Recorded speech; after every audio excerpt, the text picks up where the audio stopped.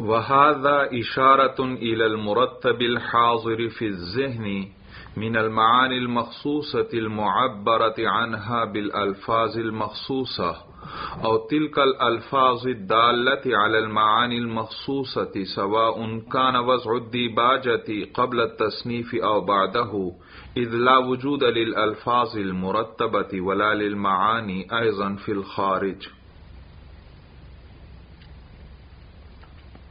گزشتہ سبق میں آپ نے وبادو کے بارے میں پڑھا اور فہذا کی فا کے بارے میں۔ وبادو کے بارے میں شارح نے آپ کو بتلایا کہ یہ ظروف زمانیہ میں سے ہے۔ یہ ظرف زمان ہے۔ اور قبل و بادو فوقو تحت وغیرہ۔ ان سب کو غایات کہتے ہیں۔ کیونکہ ان سے بعض اوقات ان کے مضافلے کو حذف کر لیا جاتا ہے۔ تو غایا کا معنی انتہا، تو پھر کلام کی یا اس مرکب کی انتہا ان پر ہوتی ہے، تو یہ کیا بن گئے؟ غایا بن گئے۔ اس لیے ان کو کیا کہا جاتا ہے؟ غایا اور یہ قبل بادو وغیرہ جو ہیں، ان کے تین احوال ہیں۔ ان کے لیے مضافلے چاہیے۔ تو کبھی مضافلے لفظوں میں ذکر ہوگا اور کبھی ذکر نہیں ہوگا۔ اور پھر جب ذکر نہیں ہے، یا تو اسے بالکل بھلا دیا گیا ہوگا یعنی نس یا منسیہ ہوگا۔ بالکل بھلا دیا، گویا کہ چاہیے ہی نہیں تھا، کوئی تھا ہی نہیں۔ تو یا تو وہ نسیہ منسیہ ہوگا، یا لفظوں سے تو حذف کر لیا، لیکن نیت میں پھر بھی مراد ہے۔ اس کا ارادہ ابھی بھی ہے، نیت میں ابھی بھی موجود ہے یعنی منوی ہے۔ کیا ہے؟ منوی ہے، نیت میں ہے۔ تو تین حالتیں ہو گئیں۔ ایک میں مضافل موجود ہے، ایک میں نسیم منسیہ ہے اور ایک میں منویہ ہے۔ تو ان میں سے دو حالتوں میں یہ معرب ہے۔ ایک وہ حالت جب اس کا مضافل موجود ہو، کیونکہ اس کی ضرورت پوری ہو رہی ہے تو یہ معرب ہے۔ اور جب معرب ہے تو اس پر اعراب آئے گا اور کون سا اعراب آئے گا؟ نصب والا کیونکہ یہ ظرف ہے مفول فی بن رہا ہے۔ اور اسی طرح جب اس کا مضافل نسیہ منسیہ کر دیا حذف کیا اور پھر نسیہ منسیہ کر دیا، تب بھی یہ معرب ہے۔ کیونکہ اب گویا اس کو مضافلے چاہیے ہی نہیں۔ جب چاہیے ہی نہیں تو اس کا کوئی نقصان نہیں ہوا۔ جب کوئی نقصان نہیں تو یہ اسی طرح معرب کا معرب رہے گا اور اس پر نصب آئے گا۔ اور تیسری صورت یہ تھی کہ مضافل لفظوں سے تو حذف کر لیا، لیکن ارادے اور نیت میں ابھی بھی موجود ہے۔ تو اس صورت میں اب مضافلے تو اس کے لیے چاہیے، وہ مراد بھی ہے، لیکن لفظوں میں موجود نہیں، تو اس کا نقصان ہو گیا۔ تو اس نقصان کی تلافی کے لیے پھر اس کو مبنی بنا دیتے ہیں ضمہ پر۔ مبنی بناتے ہیں اور چونکہ نقصان بڑا ہوا ہے، تو پھر مبنی بھی کون سی حرکت پر بناتے ہیں؟ ضمہ پر جو سب سے قوی حرکت ہے۔ تو اس صورت میں یہ مبنی اور باقی دو حالتوں میں یہ معرب ہے۔ پھر اس کے بعد شارح نے آپ کو بتلایا تھا کہ فا حاضہ کے اندر جو فا آئی، یہ فا جزائیہ ہے اور یہاں عموماً ماقبل میں اما بعد ہوتا ہے اور اما بعد میں سے اما متضمن ہوتا ہے معنی شرط کو۔ تو اس کے جواب، اس کی جزا پر کیا لائی جاتی ہے؟ فا۔ کیونکہ فا عموماً شرط کی جزا پر لاتے ہیں۔ تو اما بعد کی جزا پر بھی کیا داخل کرتے ہیں؟ فا داخل کرتے ہیں۔ لیکن اشکال یہ ہے کہ یہاں پر تو اما موجود نہیں ہے۔ تو پھر یہ فا وہ کیسے لائے؟ یہ کون سی فا ہے؟ تو شارح نے آپ کو بتلایا، دو جواب دیے کہ یہ فا توہم میں اما پر مبنی ہے۔ اور دوسرا جواب یہ دیا کہ یہ تقدیر اما پر مبنی ہے۔ توہم اما میں نے بتلایا آپ کو کہ عام طلباء اور مدرسین اس کا معنی کرتے ہیں کہ مصنف کو وہم ہو گیا تھا کہ شاید میں نے پیچھے اما کا لفظ ذکر کر دیا ہے۔ یعنی یوں سمجھیں، توہم غلطی کو کہتے ہیں۔ کہ اس کو آسان لفظوں میں مصنف سے غلطی ہو گئی۔ اس نے سمجھا کہ شاید میں نے پیچھے اما ذکر کیا تھا۔ اور اما تو متضمن ہوتا ہے مانا شرط کو۔ تو جواب میں کیا لے آیا آگے جزا پر فا لے آئے بھائی، فا لے آئے۔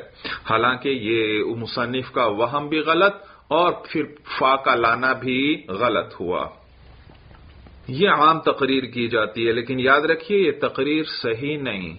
توہم اما کا معنی یہ ہے کہ ایک چیز عام کلام میں لوگوں کی عادت ہو، وہ اس کو اس طرح استعمال کرتے ہیں۔ تو اما بعد یہ بعد کو اکثر اس کے ساتھ کیا ذکر کرتے ہیں؟ اما کو ساتھ ذکر کرتے ہیں۔ اما بعد خطبوں میں عام استعمال ہوتا ہے تمام کتابوں کے اندر بھائی۔ تو جب لوگوں کی عادت ہے کہ یہاں پر اما بادو میں بادو کے ساتھ کیا ذکر کرتے ہیں؟ اما بھی ذکر کرتے ہیں۔ تو مصنف نے اس کو حذف کر لیا۔ البتہ اس کے معنی کا لحاظ رکھا۔ کس کا رکھا؟ اس کے معنی یہاں ملحوظ رکھا، اس کے معنی کا یہاں اعتبار کیا۔ کیوں اعتبار کیا؟ کیونکہ عادت ہے، یہاں پر خطبوں میں یہ استعمال ہوتا ہے اسی طرح اما کے ساتھ۔ تو لفظوں سے تو حذف کر دیا، لیکن معنی کا لحاظ رکھا، معنی کو ملحوظ رکھا اور اس بنا پر پھر آگے فا لے کر آئے۔ کیونکہ جب معنی شرط موجود ہے تو آگے جزا پر فا آنی چاہیے۔ تو اس صورت میں دیکھو خود اما یہاں نہیں موجود، لفظ اما خود موجود نہیں۔ ہاں اس کا معنی ملحوظ ہے، اس کے معنی کا اعتبار کیا۔ جبکہ دوسرا جواب یہ کہ یہاں خود لفظ اما مقدر ہے اور المقدر کل ملفوظ یا یوں کہو، المقدر کل مذکور مقدر اسی طرح ہے جیسے اس کو باقاعدہ ذکر کیا گیا ہو، اور جب باقاعدہ یوں سمجھو ذکر کیا گیا ہے، تو فا کو لانا چاہیے یا نہیں لانا چاہیے؟ پھر تو فا کو لانا چاہیے۔ تو گویا ایک جواب میں صرف اما کے معنی ملحوظ ہے، دوسری میں خود اما یہاں پر باقاعدہ مذکور ہی سمجھو کیونکہ وہ مقدر ہے۔ تو لہذا فا کا لانا صحیح ہوا۔ آگے دیکھیے بھائی، سب سے پہلے متن دیکھ لیں۔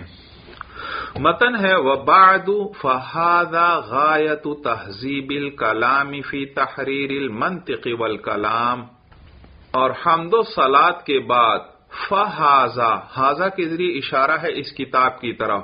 پس یہ کتاب جو ہے فہاز الکتاب کلام مہذب غایت تہذیب الکلامی یہ انتہا درجے کا مہذب کلام ہے۔ فی تحریر المنطق والکلامی علم منطق اور علم کلام کے بیان میں۔ یہ کتاب کیا ہے؟ انتہا درجے کا مہذب کلام ہے۔ علم منطق اور علم کلام کے بیان میں۔ تو حاضہ کے ذریعے اشارہ ہے اس کتاب کی طرف۔ کس کی طرف؟ اس کتاب کی طرف اشارہ ہے۔ تو اس پر اشکال ہوتا ہے، اشکال یہ ہوتا ہے کہ حاضہ کے ذریعے اشارہ ہوتا ہے کسی محسوس اور مشاہد چیز کی طرف۔ جو چیز جو حاضر ہو، موجود ہو، اس کی طرف کیا کیا جاتا ہے؟ حاضہ کے ذریعے اشارہ کیا جاتا ہے، اشارہ کیا جاتا ہے۔ جیسے، مثلا دیکھو، میرے سامنے یہ کتاب موجود ہے۔ میں نے اس کتاب کی طرف ہاتھ سے اشارہ کیا اور کہا ہاضا آپ سمجھ گئے کہ ہاضا سے کیا مراد ہے۔ یہ کتاب مراد ہے جس کی طرف اشارہ ہو رہا ہے۔ یا میرے سامنے یہ قلم پڑا ہوا ہے۔ میں نے قلم کا لفظ نہیں بولا، صرف میں نے یہ کہا ہاضا اس قلم کی طرف اشارہ کرتے ہوئے ہاضا کہا تو آپ سمجھ گئے کہ اس سے کیا مراد ہے ہاضا سے؟ ہاضا سے قلم مراد ہے۔ یا ایک انسان میرے پاس کھڑا ہوا ہے، میں نے ہاتھ سے اس کی طرف اشارہ کر کے آپ کو بتلایا ہاضا دیکھو ال انسان میں نے نہیں کہا، صرف کیا کہا ہاضا آپ سمجھ گئے نہیں سمجھ گئے ہاضا سے کیا مراد ہے؟ یہ انسان مراد ہے۔ تو ہاضا جو ہے اس کو وضع کیا گیا ہے۔ وضع جانتے یا نہیں؟ ہر لفظ کو کسی معنی کے لیے وضع کیا جاتا ہے۔ جیسے جس برتن میں ہم پانی پیتے ہیں، اس کے لیے کیا لفظ وضع ہے؟ گلاس۔ جس چیز میں ہم سبق لکھتے ہیں، اس کے لیے کیا لفظ وضع ہے؟ مثلا کاپی ہے یا رجسٹر ہے۔ اور جس چیز سے ہم پڑھتے ہیں، اس کا کیا نام مقرر ہے؟ کتاب مقرر ہے۔ جس چیز سے ہم لکھتے ہیں، اس کا کیا نام مقرر ہے؟ قلم۔ تو اسی طرح حاضہ جو ہے قریب کی چیز کے لیے قریب کی مذکر چیز کے لیے وضع ہے جو محسوس اور مشاہد ہو نظر آئے سامنے ہو اور حاضر ہو۔ جو سامنے کیا ہو؟ حاضر ہو۔ تو حاضہ قریب والی چیز محسوس اور مشاہد چیز کے لیے وضع ہے اس کی طرف اشارہ کرنے کے لیے۔ توجہ ہے سبق کی طرف۔ جی، جی۔ تو حاضہ اس کے لیے وضع ہے۔ تو یہاں پر حاضہ کے ذریعے کس چیز کی طرف اشارہ ہے؟ تو کہتے ہیں بھائی ابھی تو ہم نے ذکر کیا حاضہ کے یہ اشارہ ہے اس کتاب کی طرف بھائی۔ کس کی طرف؟ اس کتاب کی طرف اشارہ ہے۔ تو اشکال ہوتا ہے بھائی، یہی تو ہم سوال کر رہے ہیں۔ کتاب تو ابھی موجود ہی نہیں ہے۔ ابھی تو کتاب کا خطبہ مصنف لکھ رہا ہے۔ ابھی تو ایک صفحہ بھی اس نے نہیں لکھا، چند سطریں ہی لکھی ہیں۔ کتاب تو ابھی آگے آئے گی، وہ لکھے گا، اس کو تب پوری ہوگی۔ تو کتاب ابھی لکھی نہیں ہے، کتاب کا وجود ہی نہیں ہے۔ تو حاضہ کے ذریعے کس چیز کی طرف اشارہ ہے؟ حاضہ کے ذریعے تو اشارہ ہوتا ہے ایک ایسی چیز کی طرف جو موجود ہو، حاضر ہو، سامنے ہو، اس کی طرف کیا کیا جاتا ہے؟ اشارہ۔ اور کتاب تو ابھی موجود ہی نہیں۔ کیوں نہیں موجود؟ کیونکہ ابھی کتاب کا خطبہ چل رہا ہے۔ آگے ابھی مصنف نے لکھا ہی نہیں، ابھی لکھتے ہوئے یہاں پہنچا ہے اور یہاں اس نے لکھا فہذا تو کس کی طرف اشارہ ہے؟ اشکال سمجھ میں آیا؟ تو بعض علماء نے پھر جواب دیا کہ حاضہ کے ذریعے اشارہ ہے۔ ان معانی کی طرف جو مصنف کے ذہن میں موجود تھے۔ کس میں موجود تھے؟ مصنف کے ذہن میں جو معانی موجود تھے، ان معانی کی طرف اشارہ کیا۔ بھائی دیکھیے، آپ جو بھی بات کرنا چاہتے ہیں، پہلے ذہن میں سوچتے ہیں یا نہیں؟ آپ مثلا آپ دوسرے کو بتانا چاہتے ہیں زید کھڑا ہے، تو پہلے یہی چیز ذہن میں سوچیں گے اور پھر اسی کو لفظ زبان سے ادا کر دیں گے کہ زید کھڑا ہے۔ تو جو بھی بات انسان کرتا ہے، پہلے ذہن میں سوچتا ہے اور پھر زبان سے اس پر بولتا ہے، اس پر تلفظ کرتا ہے۔ تو ذہن کے اندر، اور ذہن میں کیا ہوتے ہیں؟ ذہن میں تو معنی ہوتا ہے، الفاظ تو وہ ہیں جو انسان کس سے ادا کرتا ہے زبان سے۔ تو ابھی تو یہ کتاب کے الفاظ موجود ہی نہیں تھے، ذہن میں معنی تھا۔ اور معنی معنی بھی پورے طور پہ نہیں موجود، پوری کتاب تو ذہن میں نہیں موجود، کیونکہ جو جو وہ لکھتا جائے گا، سوچ سوچ کر جملے بنائے گا یا نہیں بنائے گا؟ سوچتا جائے گا، جملے بناتا جائے گا، لکھتا جائے گا۔ تو پوری کتاب تو حافظے میں بھی نہیں موجود اس کے۔ ہاں اجمالی اجمالن ذہن میں یعنی تفصیل کے ساتھ، ایک ایک بات ذہن میں موجود ہو تو اس کو کہتے ہیں تفصیل۔ کیا کہتے ہیں؟ اور ایک ہے اجمالی خاکہ۔ دیکھو جو بھی مصنف کوئی کتاب لکھنا چاہتا ہے یا کچھ تحریر کرنا چاہتا ہے تو ذہن میں پہلے ایک اجمالی خاکہ ہوتا ہے مختصر یعنی اس کا خاکہ ہوتا ہے کہ میں اس میں اس اس طرح کی باتیں کروں گا۔ یہ یہ چیزیں میں اس میں بیان کروں گا۔ کچھ خاص خاص نقطے کچھ خاص خاص باتیں اس کے ذہن میں ہوتی ہیں یا نہیں ہوتی؟ جی۔ وہ ہے اجمالی خاکہ۔ مختصر اجمال جس میں اختصار ہو، پوری تفصیل نہ ہو۔ تو وہ اجمالی خاکہ اس کے ذہن میں ہوتا ہے۔ تو مصنف کے ذہن میں جو اجمالی خاکہ تھا کتاب کا، جو اجمالی معانی تھے کہ میں اس کتاب میں یہ یہ باتیں بیان کروں گا۔ ان کی طرف حاضہ کے ذریعے اشارہ ہے۔ پورے معانی تو موجود نہیں کیونکہ وہ تو جیسے جیسے لکھتا جائے گا سوچتا جائے گا لکھتا چلا جائے گا۔ لیکن اجمالی خاکہ کیا ہے ذہن میں؟ موجود۔ تو حاضہ کیجیے کس کی طرف اشارہ؟ وہ جو اجمالی معانی حاضر ہیں اس مصنف کے ذہن میں ان کی طرف اشارہ ہے کہ حاضہ یہ جو کتاب ہے جو کہاں ہے اس وقت میرے ذہن میں یہ انتہا درجے کا مہذب کلام ہے۔ تو معلوم ہوا کہ یہاں حاضہ حقیقی معنی میں استعمال نہیں، بلکہ مجازی معنی میں استعمال ہے۔ بھئی ایک ہوتی ہے حقیقت، ایک ہے مجاز۔ حقیقت وہ لفظ جس معنی کے لیے وضع ہو، اسی معنی میں استعمال کیا جائے تو اسے کیا کہتے ہیں؟ حقیقت۔ اور اگر کسی دوسرے معنی میں استعمال ہو تو اسے کہتے ہیں مجاز۔ جیسے مثلا شیر کا لفظ۔ اردو میں ایک جنگلی درندے کے لیے وضع ہے۔ تو اسے شیر کہتے ہیں۔ جنگل کا بادشاہ شیر کہتے ہیں۔ لیکن یہی شیر کا لفظ کبھی بہادر آدمی کے لیے بھی بول دیا جاتا ہے۔ اب بہادر آدمی کے لیے تو شیر کا لفظ وضع نہیں، تو لیکن اس کے لیے استعمال کر دیا جاتا ہے۔ تو شیر کا لفظ اگر اپنے حقیقی معنی میں استعمال ہو اور اس سے جنگلی درندہ ہی مراد لیا جائے، تو یہ ہے حقیقت۔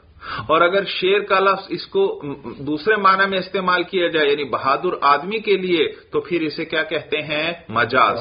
تو اسی طرح یہاں حاضہ جو ہے، اس کا حقیقی معنی تو کیا تھا؟ کہ اس کے ذریعے اشارہ کیا جائے؟ کس کی طرف ایک ایسی چیز کی طرف جو محسوس ہو مشاہد ہو اور خارج میں موجود ہو۔ خارج میں کیا ہو؟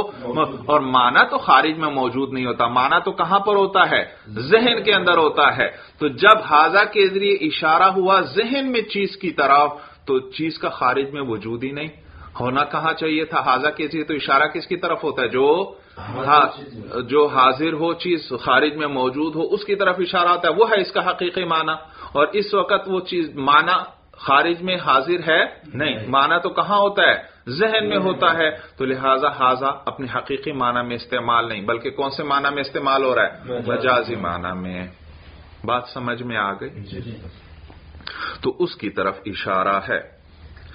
بعض علماء نے پھر دوسرا جواب دیا وہ کہتے ہیں نہیں حاضہ یہاں حقیقی معنی میں ہی استعمال ہے مجازی معنی میں استعمال نہیں ہے۔ بھئی وہ کیسے؟ وہ کہتے ہیں کہ بھئی دیکھیے یہ جو کتاب کا خطبہ چل رہا ہے یہ خطبہ ہے اور اسی کو فارسی میں کہتے ہیں دیباچا کیا کہتے ہیں؟ دیباچا ہاں عربی میں تو خطبہ ہو گیا اور فارسی میں اس کو فارسی میں۔ فارسی میں اس کو کیا کہتے ہیں؟ دیباچا کہتے ہیں۔ اور یہ جو خطبہ ہے، یہ جو دیباچا ہے، یہ دو قسم کا ہوتا ہے۔ ایک خطبہ یہ کہ آپ کتاب لکھنے سے پہلے ہی آغاز ہی خطبے سے کرتے ہیں۔ اور خطبہ لکھتے ہیں اور پھر آگے کتاب لکھ لیتے ہیں۔ جیسے یہاں مصنف اگر یہ خطبہ ہو تو ابتدا سے کتاب لکھنا شروع کی وہ باد فہذا تک پہنچے اور ابھی کتاب نہیں لکھی، آگے لکھتے چلے جا رہے ہیں۔ تو یہ دیکھو خطبہ اور دیباچہ پہلے لکھا اور کتاب بعد میں لکھی۔ دوسری صورت یہ ہے کہ بعض اوقات کتاب پوری لکھ لی جاتی ہے اور خطبہ نہیں لکھا جاتا، پوری کتاب لکھ لی اور پھر جب کتاب مکمل ہو گئی تو اب آخر میں شروع میں کیا ملا دیا جاتا ہے؟ خطبہ لکھ کر ملا دیا جاتا ہے۔ تو یہ دو قسمیں ہو گئیں خطبے کی یا یوں کہیں دیباچے کی۔ تو یہ دیباچا اگر کتاب سے پہلے لکھا تو اس کو کہتے ہیں دیباچا ابتدائیہ۔ کیا کہتے ہیں؟ یا خطبہ ابتدائیہ کہہ لیں کہ ابتدا میں ہی لکھا۔ اور اگر یہ خطبہ یا دیباچہ کتاب کے پورا ہونے کے بعد ساتھ جوڑا ہے تو اس کو کہتے ہیں دیباچہ الحاقیہ یا خطبہ الحاقیہ۔ الحق یلحق الحاق کا معنی ہے نا ملانا، جوڑ دینا، اس کو بعد میں جوڑا گیا ہے۔ تو خطبہ یا دیباچہ کتنی قسم کا ہو گیا؟ دو، ایک ابتدائیہ اور ایک الحاقیہ۔ تو بعض علماء فرماتے ہیں کہ حاضہ کے ذریعے معانی کی طرف نہیں اشارہ کہ آپ اس کو کس پر محمول کریں، مجازی معنی پر، بلکہ حاضہ کے ذریعے الفاظ کی طرف اشارہ ہے۔ اور الفاظ الفاظ ہم اس پر تلفظ کرتے ہیں نہیں کرتے؟ جی۔ تو لہذا کے ذریعے الفاظ کی طرف اشارہ ہے کتاب کے جو الفاظ ہیں۔ اور یہ خطبہ الحاقیہ ہے۔ یہ خطبہ کون سا ہے؟ الحاقیہ۔ اس کا مطلب ہے پہلے پوری کتاب لکھی گئی پھر اس کے بعد یہ خطبہ کو ملایا گیا۔ اب فہذا کہنا صحیح ہے یا نہیں؟ کیونکہ اب تو کتاب کیا ہے؟ خارج میں موجود ہے حاضر ہے۔ تو جب اس کی طرف اشارہ کیا تو حاضہ وضع بھی ہے حاضر اور خارج میں موجود چیز کے لیے اور اس وقت اشارہ بھی کس کی طرف ہو رہا ہے؟ وہ کتاب جو خارج میں موجود ہے اور حاضر ہے بھائی۔ تو لہذا یہ حاضہ معنی مجازی میں نہیں استعمال ہو رہا بلکہ اپنے معنی حقیقی میں استعمال ہو رہا ہے۔ یہاں تک بات سمجھ میں آ گئی۔ شارح آپ کو بتلائیں گے کہ چاہے آپ اس کو خطبہ ابتدائیہ بنائیں چاہے خطبہ الحاقیہ بنائیں یوں کو۔ چاہے آپ اس دیباچے کو دیباچہ ابتدائیہ مان لیں، چاہے دیباچہ الحاقیہ مان لیں، چاہے اس حاضر کے ذریعے آپ اشارہ مان لیں، کس کی طرف؟ جی؟ چاہے اس کے لیے آپ اشارہ مان لیں معانی کی طرف چاہے اس کے لیے اشارہ آپ مان لیں الفاظ کی طرف دونوں صورتوں میں حاضہ مجازی معنی میں استعمال ہو رہا ہے۔ شارح کی بات سمجھ میں آ رہی ہے؟ ہاں جی، بعض علماء نے تو کیا کہا تھا؟ معنی کی طرف اشارہ لہذا حاضہ کس معنی میں ہے؟ مجازی معنی میں۔ اور بعضوں نے کہا نہیں بلکہ یہ خطبہ الحاقیہ ہے کتاب پہلے لکھی جا چکی تو حاضہ کے ذریعے ایک ایسی چیز کی طرف اشارہ ہے جو موجود ہے حاضر ہے۔ تو یہ حاضہ کس معنی میں ہوا؟ حقیقی معنی شارح بتلاتے ہیں، نہیں، چاہے آپ الفاظ کی طرف اشارہ ماں کہیں، چاہے آپ معانی کی طرف اشارہ کہیں، دونوں صورتوں میں حاضہ کس معنی میں استعمال ہو رہا ہے؟ مجازی معنی میں استعمال ہو رہا ہے۔ حقیقی معنی میں استعمال نہیں ہو رہا۔ بھئی کیا وجہ ہے؟ مجازی معنی میں کیوں استعمال ہو رہا ہے؟ الفاظ تو موجود ہیں، جب کتاب پہلے لکھ لی، خطبہ کون سا ہے؟ الحاقیہ۔ کتاب پہلے موجود ہے یا نہیں؟ کتاب تو لکھی جا چکی تو حاضہ کیجیے ایک موجود اور حاضر چیز کی طرف اشارہ ہے۔ جی۔ تو آپ کو شارح بتلائیں گے کہ بھئی حاضہ کے ذریعے پہلی صورت کیا تھی؟ اشارہ کس کی طرف تھا؟ معانی کی طرف۔ اس وقت تو آپ بھی تسلیم کرتے ہیں کہ یہ کون سا حاضہ کس معنی میں استعمال ہو رہا ہے؟ مجازی۔ معنی میں۔ اور دوسری صورت میں آپ کیا کہتے ہیں؟ حاضہ کے ذریعے اشارہ ہے کس کی طرف۔ الفاظ کی طرف۔ الفاظ کی طرف۔ تو تو بھی حاضہ اپنے مجازی معنی میں استعمال ہے۔ وہ اس طرح کہ جو کتاب ہے کتاب یہ جو آپ کے سامنے لکھے ہوئے ہیں یہ ہے نقوش۔ یہ کیا ہے؟ نقوش ہے۔ یاد رکھیے یہ جو آپ کے سامنے کتاب میں تحریر ہے ان کو کہتے ہیں نقوش۔ کیا کہتے ہیں؟ نقوش ہیں۔ یعنی کچھ خط ہیں، کچھ ٹیڑھی میڑی لکیریں ہیں جو قلم کے ذریعے لکھی جاتی ہیں۔ اسی کی پھر ہم نے اسی کی مختلف آوازوں کے لیے مختلف حروف مقرر کر لیے۔ مثلا ایک الف ہے۔ قاعدے میں پڑھتے ہیں نہیں؟ الف با تا سا۔ با، دیکھو، با کی ایک خاص آواز ہے۔ تا تا کی ایک خاص آواز ہے۔ سا سا کی ایک خاص آواز ہے، جیم ہے، ہا ہے۔ تو یہ مختلف آوازوں کے لیے ہم نے حروف وضع کیے ہیں، مقرر کیے ہیں۔ اب جس طرح کی آوازوں سے حرف بنتا، کوئی لفظ بنتا ہے، تو وہی حروف استعمال کر لیے جاتے ہیں۔ مثلا آپ نے لکھنا ہے زید تو پھر زے دیکھو شروع میں کس کی آواز ہے؟ زا کی۔ تو آپ نے زا لکھی۔ پھر زے آگے کیا نہیں چاہیے؟ یا۔ تو آپ پھر یا لکھتے ہیں۔ اور آگے پھر دال لکھتے ہیں آپ۔ جیسی لفظ کی آواز ہوگی اسی طرح آپ حروف لے آتے ہیں اور اس لفظ کو لکھ لیتے ہیں۔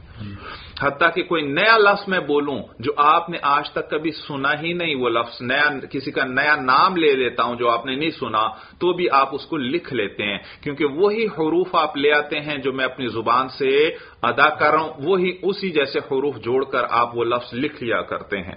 سورج سمجھ میں آ گئی؟ تو یہ ان کو کہتے ہیں نقوش۔ یہ جو لکیریں ہیں، ان کو کیا کہتے ہیں؟ نقوش کہتے ہیں۔ تو یہ جو کتاب میں لکھے ہوئے ہیں، یہ الفاظ نہیں ہے ان کو ویسے ہم الفاظ کہہ دیتے ہیں، یہ حقیقت میں الفاظ نہیں۔ الفاظ وہ ہیں جس پہ میں یہ تلفظ کر رہا ہوں، زبان سے بول رہا ہوں۔ لفظ کو لفظ کہتی اس لیے کہ اس پر انسان کیا کرتا ہے؟ تلفظ کرتا ہے۔ تو یہ جو میں بول رہا ہوں، یہ جو آپ سن رہے ہیں، یہ ہیں الفاظ۔ لیکن یہ جو کتاب میں لکھے ہوئے ہیں، یہ الفاظ نہیں ہے یہ کیا ہے نقوش ہے ہاں یہ نقوش الفاظ پر دلالت کرتے ہیں۔ ان نقوش سے الفاظ کا پتہ چلتا ہے۔ جیسے میں نے آپ کے سامنے لکھا، زا، یا، دال۔ اور میں نے آپ سے کہا، پڑھو اس کو۔ آپ کیا پڑھیں گے؟ زید۔ دیکھا، اس زا یا دال نے دلالت کی کس پر؟ لفظ زید پر۔ تو یہ ہے نقوش، لیکن انہوں نے دلالت کس پر کی؟ لفظ زید پر۔ اور پھر لفظ زید نے دلالت کی ذات زید پر۔ جیسے زید کہا، آپ کے ذہن میں آپ کا ایک ساتھی ہے، اس کا نام زید ہے، وہ فوراً آپ کے ذہن میں آ گیا۔ سورج سمجھ میں آ گئی۔ یا مثلا میں آپ کے سامنے ایک لفظ لکھتا ہوں، گلاس مثلا، اور آپ سے کہتا ہوں، پڑھو۔ تو وہ آپ نے حروف دیکھے اور فوراً زبان سے کہا، گلاس۔ اور جیسے ہی گلاس کہا ساتھ ہی وہ برتن بھی آپ کے ذہن میں آ گیا یا نہیں جس میں پانی پیتے ہیں؟ ہاں۔ تو دیکھا نقوش نے دلالت کی کس پر۔ الفاظ پر۔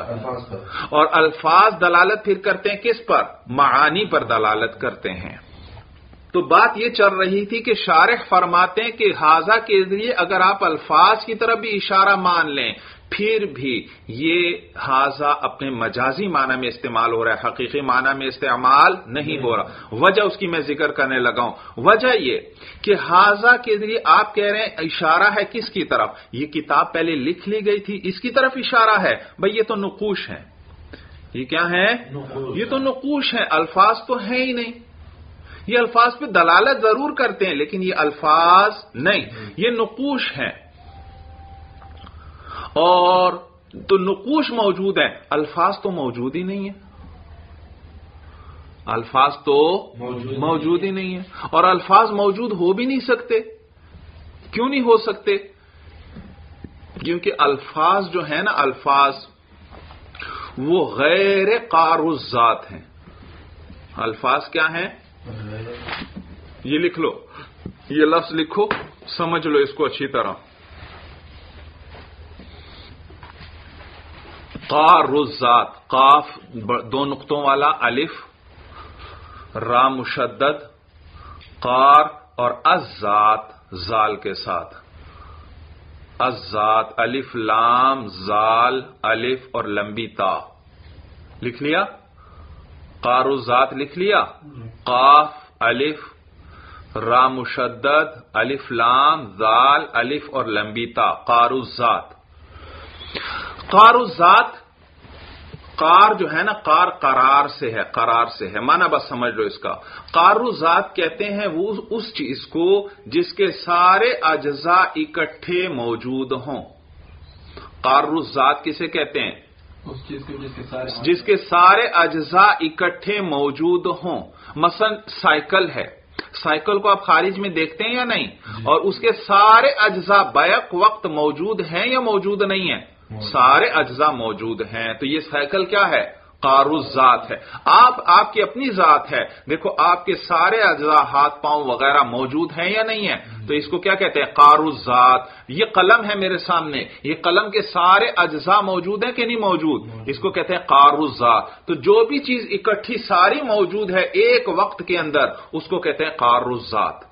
یہ کتاب ہے یہ مکان ہے یہ درخت ہے یہ سڑک ہے یہ جو چیزیں آپ کو نظر آ رہی ہیں جتنی چیزیں نظر آ رہی ہیں یہ ساری کیا ہیں؟ کاروزات ان کے اجزاء بیک وقت اکٹھے موجود ہیں۔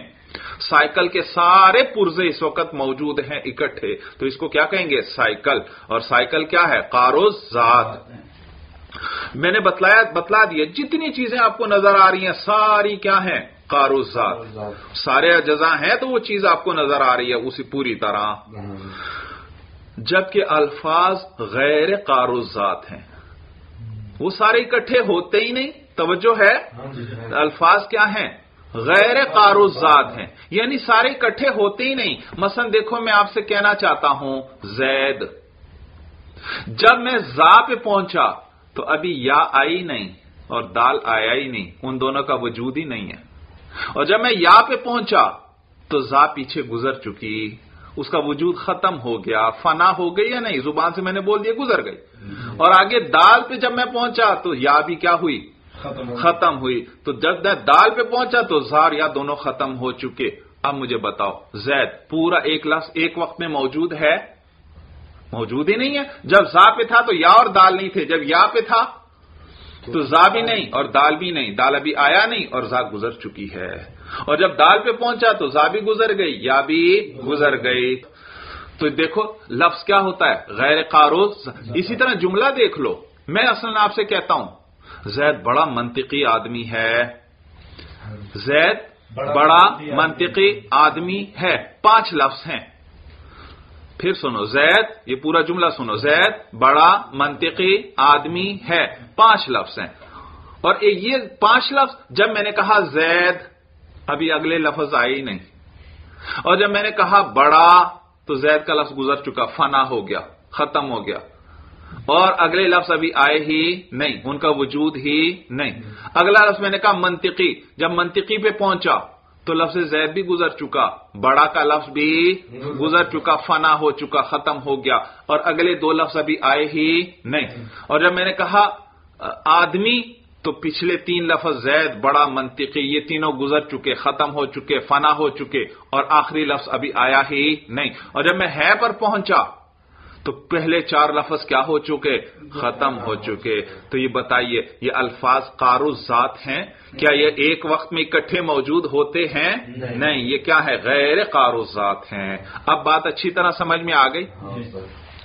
تو جواب دے رہے تھے شارع کہ آپ اگر ان کے ذریعے الفاظ کی طرف بھی اشارہ مان لیں تو بھی یہ حاضہ اپنے مجازی معنی میں استعمال ہے۔ اس لیے کیونکہ حاضہ کے ذریعے آپ کہتے ہیں اشارہ ہے، یہ جو سامنے الفاظ ہیں، تو جواب یہ کہ یہ الفاظ نہیں ہے یہ کیا ہے نقوش ہیں۔ تو حاضہ کے ذریعے اشارہ ہوگا الفاظ کی طرف۔ اور الفاظ تو کیا ہے غیر قاروز ذات۔ ایک وقت میں سارے اکٹھے ہو ہی نہیں سکتے۔ جب اکٹھے ہو ہی نہیں سکتے، تو کن الفاظ کی طرف اشارہ کیا حاضہ کے ذریعے؟ یا تو سارے اکٹھے ہو، سائیکل ساری اکٹھی ہے نا؟ تو میں کہہ دیتا ہوں ہاضا حاضی ہی، پوری سائیکل کی طرف کیا ہو گیا؟ اشارہ۔ لیکن یہاں تو سارے کتاب کے الفاظ اکٹھے ہو ہی نہیں سکتے۔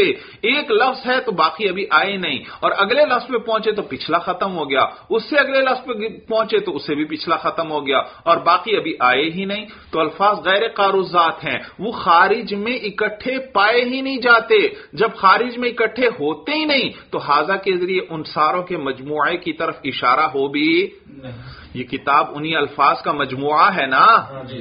ترتیب کے ساتھ۔ تو تو خارج میں یہ سارے الفاظ اکٹھے ہو ہی نہیں سکتے۔ سارے اکٹھے ہوتے تو مصنف بھی کہہ دیتے ہاضا کلام محذب لیکن یہ تو سارے اکٹھے ہو ہی نہیں سکتے۔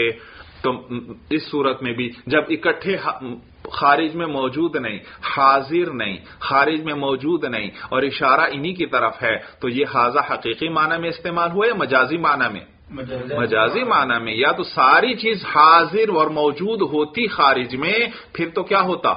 حقیقت. لیکن سارے تو الفاظ خارج میں موجود ہی نہیں تو لہٰذا یہ مجازی معنی ہی میں ہی ہے۔ تو حاضہ کے ذریعے آپ چاہے اشارہ مانے معانی کی طرف چاہے اشارہ مانے کس کی طرف؟ الفاظ کی طرح دونوں صورتوں میں یہ مجازی معنی میں استعمال ہو رہا ہے، کیونکہ الفاظ غیر قارضات ہیں یعنی اکٹھے بیک وقت خارج میں پائے ہی نہیں جاتے۔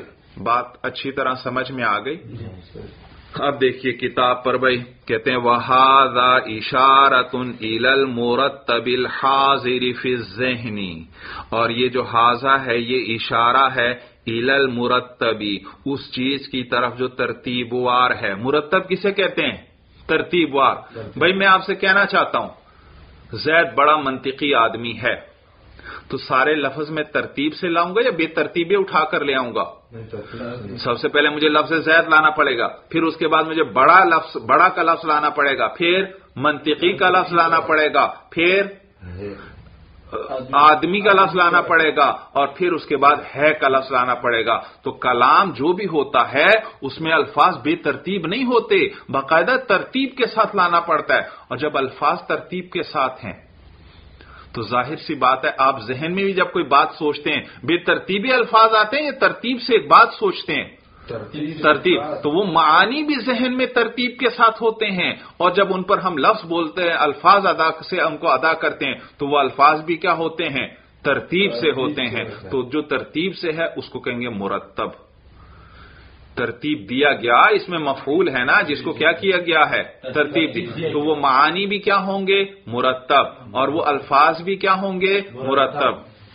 تو یہی بات بیان کر رہے ہیں۔ کہتے ہیں وہ حاضہ اشارتن اور یہ جو حاضہ کا لفظ ہے یہ اشارہ ہے ایل المرتبی اس چیز کی طرف جو ترتیب وار ہے الحاظر فی ذہنی اور حاضر ہے کہاں پر؟ ذہن میں۔ وہ چیز یعنی وہ معانی مراد ہیں۔ تو وہ چیز جو مرتب ہے، ترتیب دی گئی ہے اور موجود ہے پھر ذہنی کہاں پر؟ ذہن۔ بھئی وہ کیا چیز ہے جو ترتیب وار ہے اور ذہن میں موجود ہے؟ تو مین کے ساتھ اسی کا بیان کر رہے ہیں۔ یہ مرتب حاضر۔ مین کے ساتھ بیان ہے۔ اور اس کا ترجمہ کسے کرتے ہیں؟ یعنی کے ساتھ۔ بھائی وہ چیز جو مرتب اور حاضر ہے ذہن میں مین المعانی المخصوصتی یعنی کہ وہ معانی المخصوصتی جو مخصوص ہیں المعبرت عنہا، کہ جن کو تعبیر کیا گیا ہے بالالفاظ المخصوصتی، کس کے ساتھ؟ الفاظ مخصوصہ کے ساتھ۔ بھائی دیکھیے نا، میں نے ذہن میں سوچا کہ زید بڑا منطقی آدمی ہے۔ ابھی میں نے لفظ نہیں بولے، ذہن میں کیا سوچا؟ زید بڑا منطقی آدمی ہے۔ تو مجھے بتاؤ یہ معانی مرتب ہیں آپس میں یا غیر مرتب میں نے سوچ لیے مرتب ہے تو جملہ بنا مرتب نہیں تو جملہ بھی نہیں بن سکتا۔ تو پورا میں نے ترتیب وار زید بڑا منطقی آدمی ہے۔ پورے معنی کا کیا کر لیا؟ تصور کر لیا۔ اب یہی بات میں آپ کو پہنچانا چاہتا ہوں۔ تو الفاظ بھی کیسے لاؤں گا؟ ترتیب ہی کے ساتھ لاؤں گا، پھر ہی آپ کو بات سمجھ میں آئے گی۔ اگر لفظوں کو میں آگے پیچھے کر دوں تو آپ کو بات سمجھ میں بھی نہیں ہے تو الفاظ بھی جو آئیں گے وہ کیا ہوں گے؟ ترتیب وار اور نیز بتاؤ، یہ جو معنی میں نے ذہن میں سوچا، یہ کوئی ایسا ہی معنی ہے یا کوئی خاص ایک جملہ میں نے ایک خاص بات ذہن میں سوچی؟ خاص بات ایک میں ذہن میں نے سوچی۔ اور جب خاص بات سوچی ہے، مثلا یہی کہ زید کیا ہے؟ بڑا منطقی آدمی ہے۔ تو یہ ایک خاص بات ہے۔ تو اس یہ جو معانی مخصوص ہیں ورنہ معانی تو ہر ہزاروں لاکھوں معانی ہوں گے ہر چیز کے الگ مفہوم جو ذہن میں آتا ہے لیکن یہ والے خاص معانی میں نے صرف سوچے۔ یہ کیا ہے؟ معانی مخصوصہ۔ یہ کیا ہے؟ خاص معانی جو میں نے سوچے جو میں آپ کو بتانا چاہ رہا تھا۔ پھر ان معانی کو جب میں زبان سے ادا کروں گا تو کوئی سے بھی لفظ بول کر ادا کر دوں گا یا انہی کے لیے جو الفاظ ہیں وہ مخصوص الفاظ استعمال کروں گا۔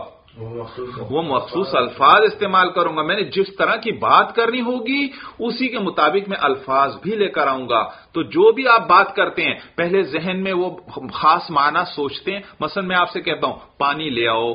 دیکھو یہ خاص معنی میں نے سوچا۔ اور پھر اسی پر جو الفاظ دلالت کر رہے تھے وہ میں لے آیا اور وہ الفاظ بھی کیا ہیں؟ خاص ہیں جو اسی معنی پر دلالت کر رہے ہیں جو میرے ذہن میں تھا۔ میں اصل میں آپ سے کہتا ہوں آپ کے درجے میں کتنے طلبا ہیں؟ دیکھا یہ ایک خاص بات میں نے ذہن میں سوچی آپ سے سوال کے بارے میں۔ اور یہ الفاظ سارے ترتیب سے بھی ہیں اور ایک خاص خاص الفاظ ہیں۔ کیونکہ میں کیا کرنا چاہتا ہوں آپ سے؟ ایک سوال پوچھنا چاہتا ہوں۔ تو انہی کے مطابق میں کیا کروں گا؟ الفاظ ترتیب سے لاؤں گا اور خاص الفاظ وہی والے لاؤں گا یا کوئی اور لاؤں گا؟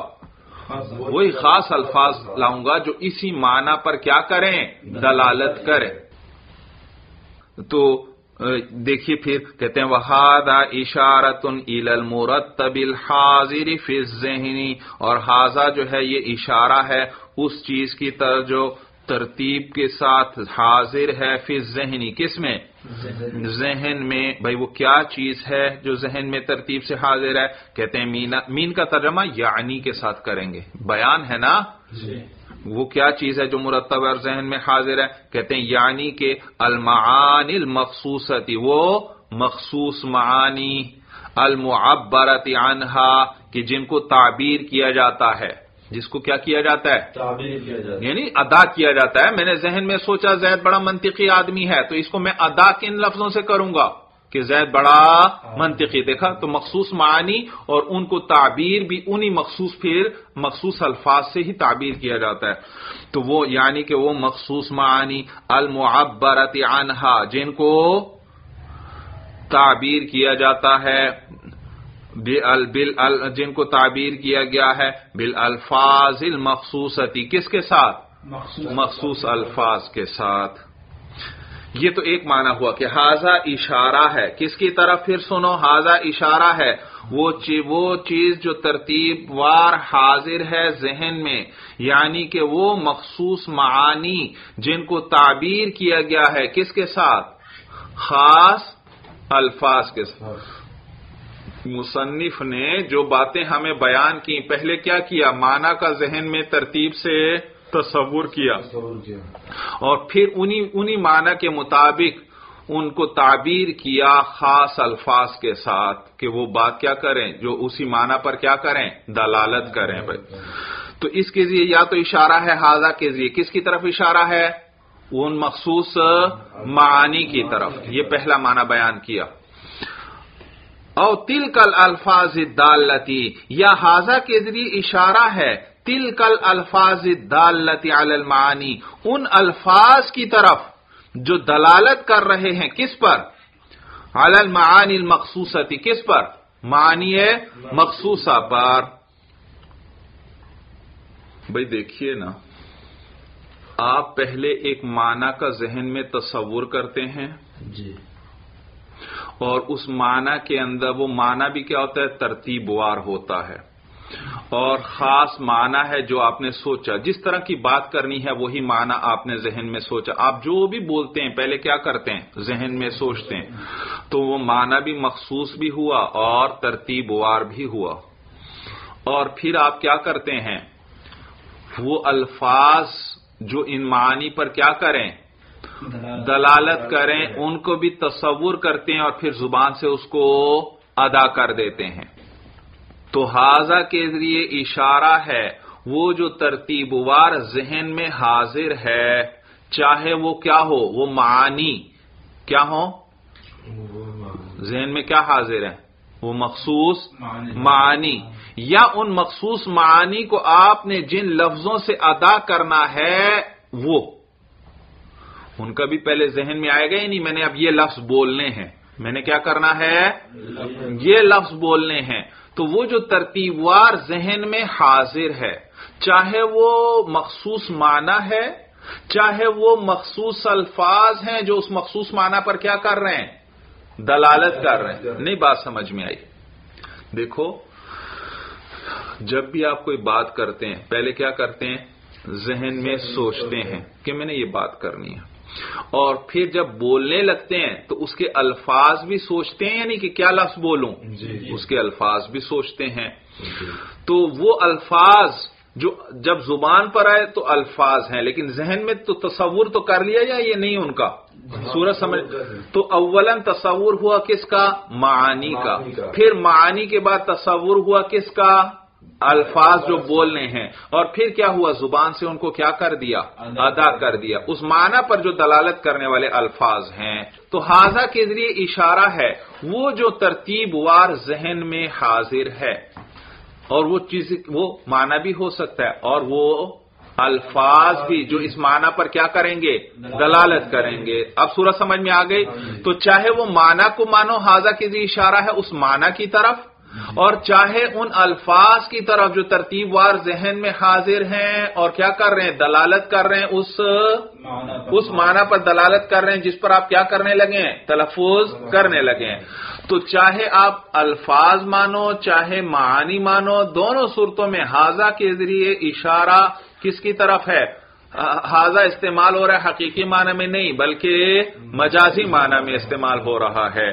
تو یہ جو کہا نا یہ جو کہا نا ایل مرتب الحاضر فی ذہنی وہ چیز جو ذہن میں ترتیب سے حاضر ہے۔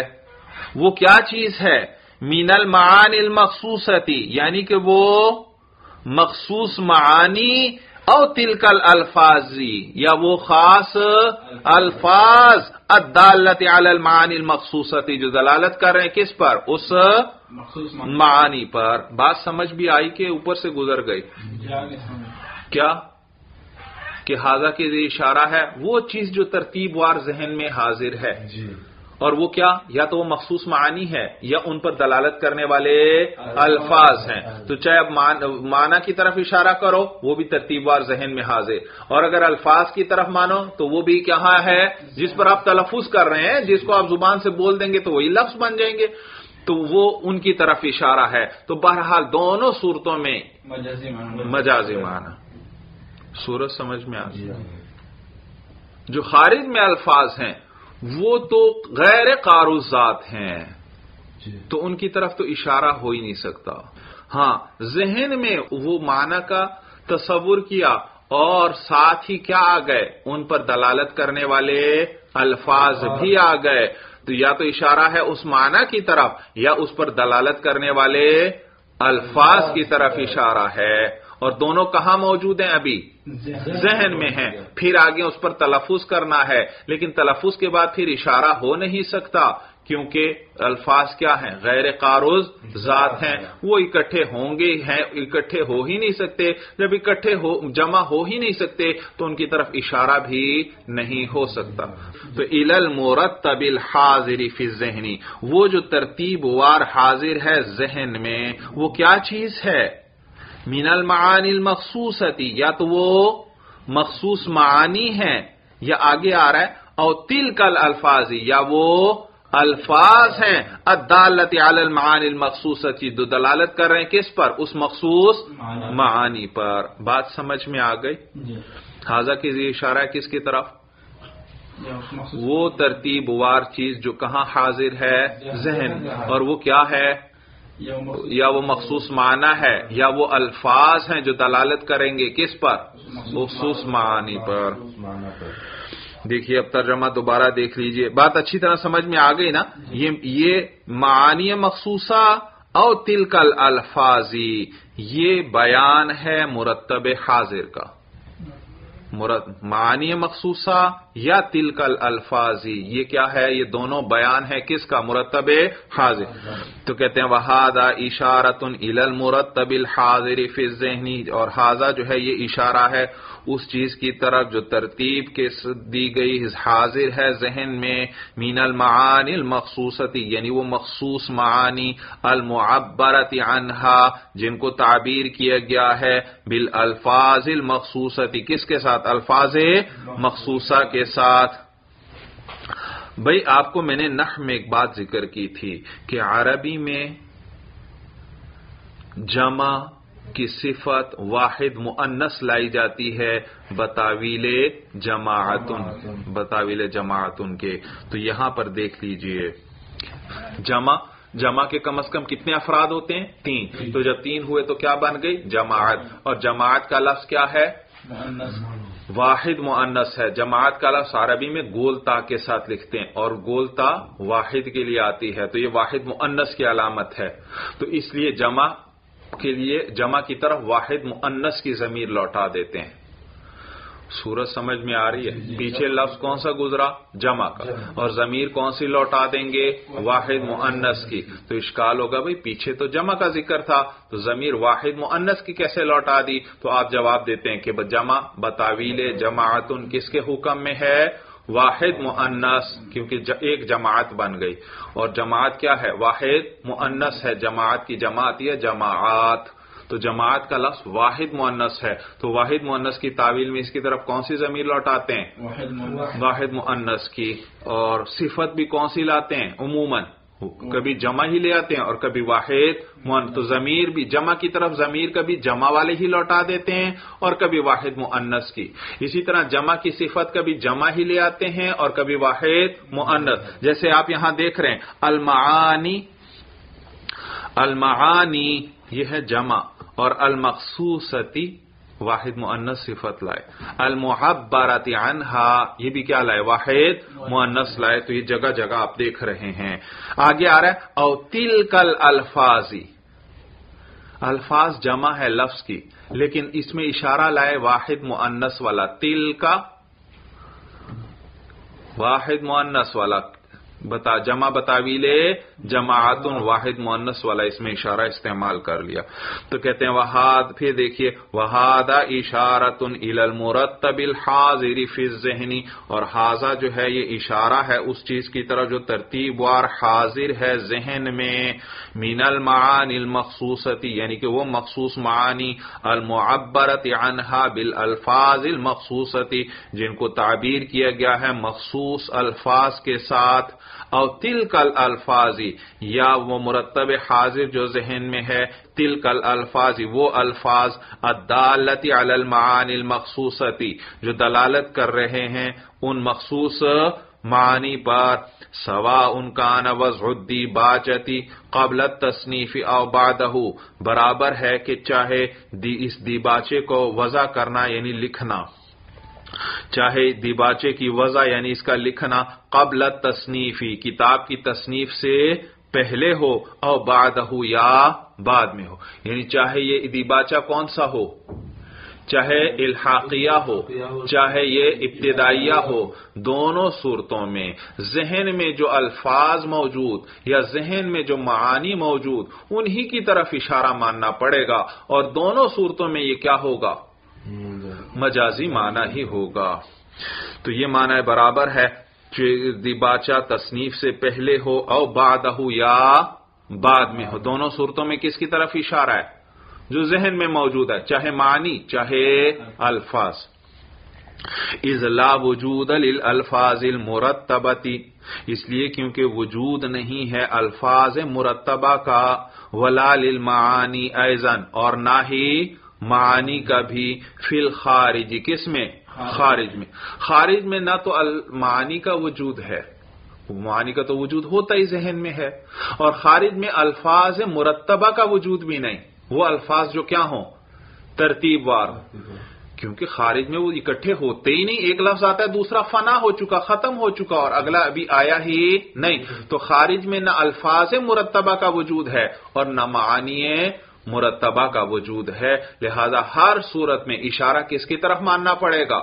ہر صورت میں اشارہ ذہن میں موجود معانی یا ذہن میں ذہن میں وہ جو الفاظ جو دلالت کرنے والے ہیں ان معانی پر ان کی طرف اشارہ ماننا پڑے گا۔ اور دونوں صورتوں میں یہ کیا ہے؟ حاضہ اپنے مجازی معنی میں استعمال ہو رہا ہے حقیقی معنی میں استعمال نہیں ہو رہا۔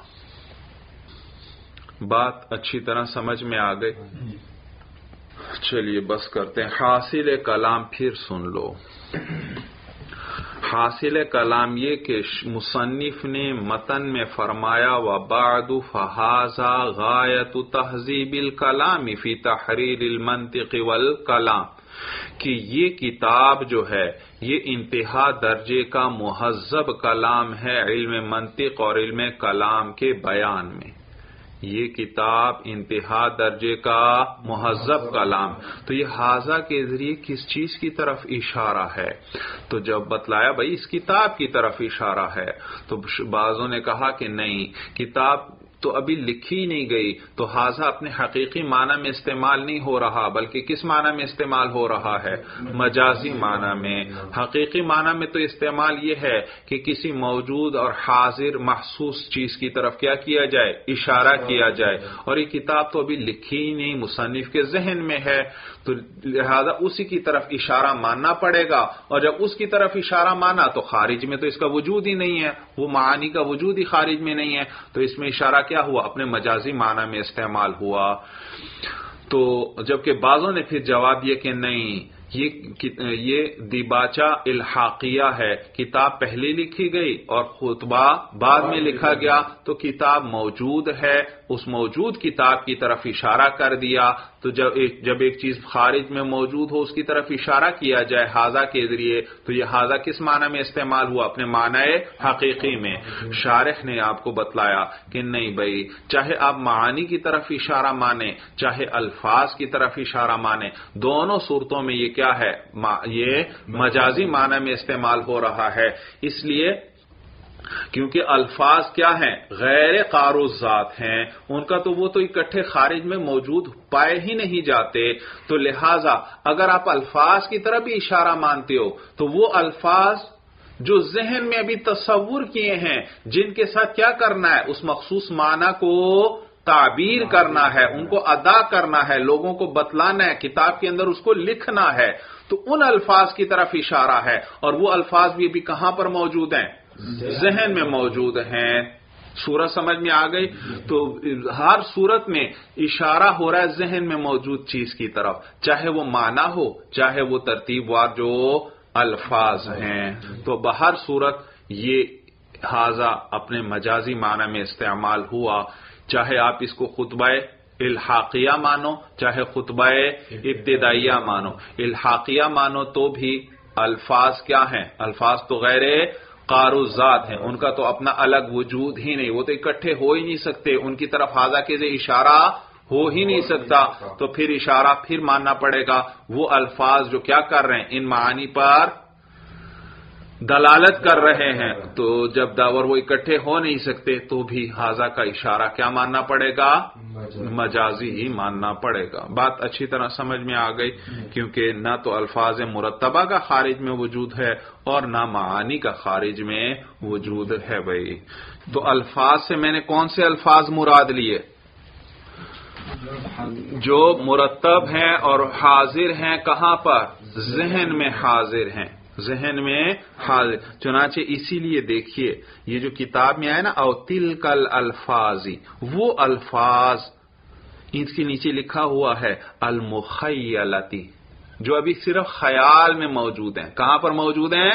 خیال۔ میں موجود ہیں ذہن میں موجود ہیں۔ بات سمجھ میں آ گئی بھائی؟ چلیے بس بھائی ہادہ المرام اللہ عالم بحقیقت الکلام۔